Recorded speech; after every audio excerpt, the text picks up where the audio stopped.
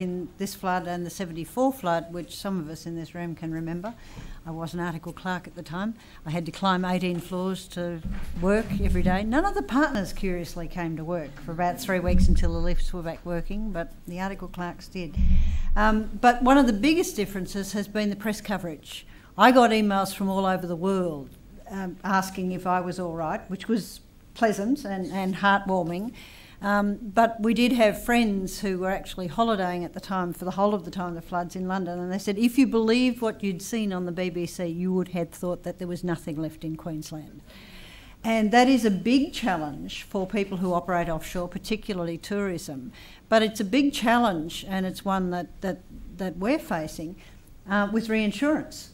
You've actually got to tell the story in London that the whole of Queensland didn't disappear under mud, that business is up and running, that, that yes, there was widespread effect, but that the whole of the economy has not disappeared into, into, into the bottom of the river. Um, and, and it is a challenge because the perception with, with the coverage is, you know, you didn't see the bits that weren't covered. Now, I know a large part of Queensland was covered, but a large part wasn't, and a lot of business was not affected. Um, fortunately, of the 1,500 odd firms, some of them very odd, in Queensland who are members, um, we, we only have um, current information that under about 20 firms were directly affected, as in being flooded, blown away, having to move premises. Many of them were affected for a short time, not being able to get into premises.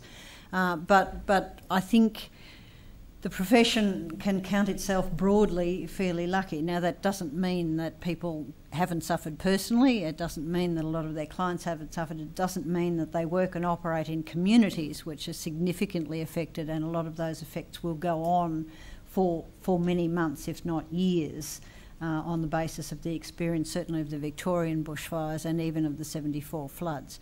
So um, I think that there are ramifications about weather, there are ramifications on business and how we run our businesses.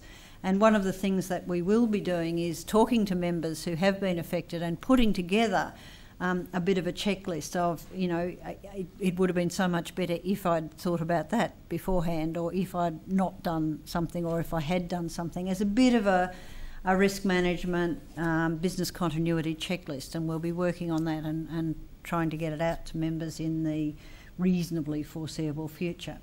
I'd like to, to thank uh, our, our first two speakers. I'd like to invite you for a, a short leg break. There is more food, there is sustenance. Um, if we can come back, please, in 10 minutes.